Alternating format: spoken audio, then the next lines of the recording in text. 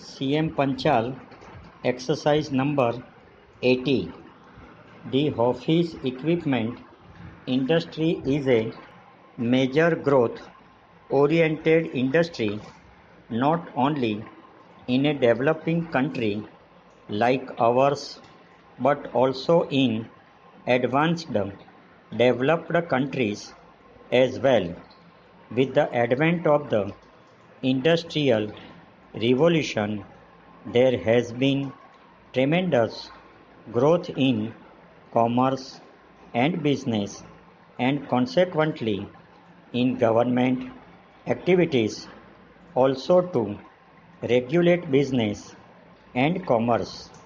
This has led to the formation of business houses, commercial centers, and the nerve center of this organization in the office. The efficiency of these offices are dependent on the various office equipments they possess and use them effectively. It will be no exaggeration when it is said the very image of an organization and its efficiency is judged by its prompt response to the various letters it receives. Your letters are your ambassador. A neat and clearly typed letter is well received and attract better customer attention. Para the first and foremost necessity for any modern office is the typewriter. The first manual typewriter was brought into this country.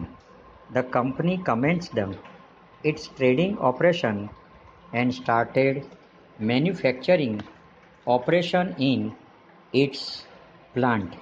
Para, although the typewriter industry in our country has been doing well, the advanced Western countries have forged ahead and have introduced electrical typewriters quite some time back. In our country, the industry appeared to have skipped out the second phase, namely the stage of electric typewriter, and are stepping into the age of electronics with the introduction of electronic typewriter. However the very high cost over